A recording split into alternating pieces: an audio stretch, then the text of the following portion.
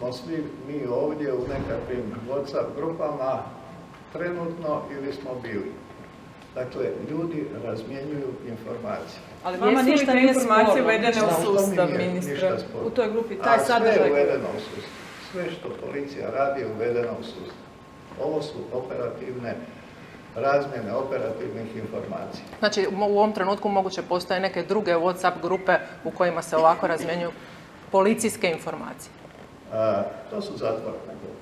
Ali su izašle van, evo, danas ih gledamo grupe, po medijima. To su zatvorene grupe, e, WhatsApp je e, zaštićen enkripcijom, dakle, to su zatvorene grupe unutar e, osoba koje su ovlaštene. Dakle, i u ovome što ste vi objavili nema recimo mene ili državnih tajnika ili svih onih djelatnika ministarstva koji nisu policijski službenici. A policijski službenici razmjenjuju informacije dnevno po svim linijama policijskog rada jer to jednostavno vrijeme, količina posla zahtjeva. Zašto bi vi sami sebe lišili nečega što vam može pomoći u šifriranoj, brzoj komunikaciji, pogotovo ako za to ili u datom trenutku se pokazalo da neke druge veze ili nemaju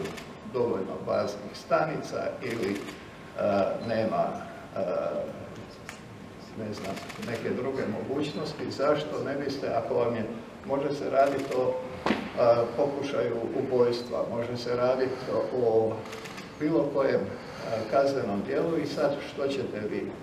Hoćete li na najbrži način upozoriti svog kolegu na nešto ili ćete čekati ponedjeljak, a, otići a, na posao, sjesti za kompjutor, uključiti se u vezu i onda pisati službene dopise.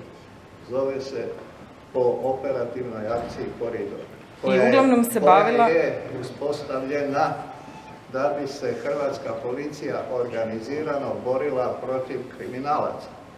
Ok, još jednom, dakle, grupa se po ovome što vidimo uglavnom bavi migrantima. Poruka kaže, policijska postaja Velika Gorica, najmanje 80 migranata zatečeno, zatraženo pet marica najmanje za prijevoz i odvraćanje. To je protuzakonito. Što je protuzakonito? Odvraćanje migranata imaju svoja prava po zakonu o međunarodnoj Ja vam kažem da ih ostvaruju.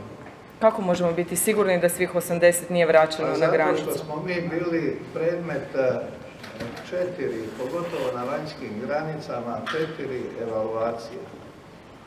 Dakle, najstrože evaluacije gdje su dolazili eksperti iz svih država članica i iz europskih institucija koji su provjeravali kako hrvatska policija radi svoj posao. Dobro, kako vam zvuči ova poruka?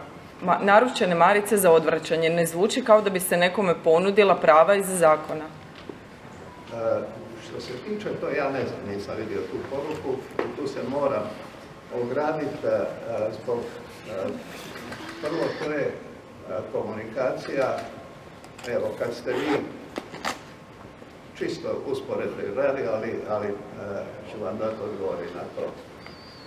Kad ste vi e, iskazali interes da razgovarate sa jeste li napisali u toj poruci WhatsApp grupe koju imate?